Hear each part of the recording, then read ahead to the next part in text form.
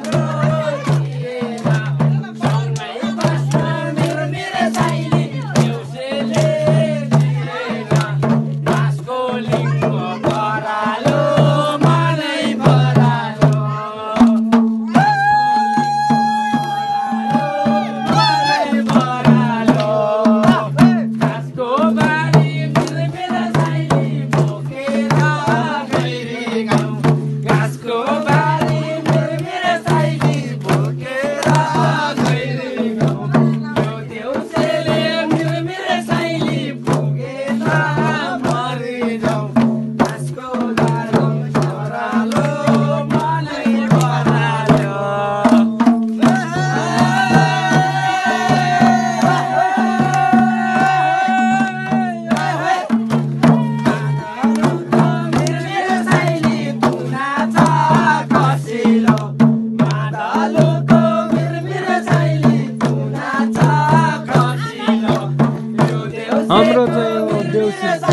भैलो कार्यक्रम घरमै आफन्त आफन्त दिदी भाइ बुवाहरू।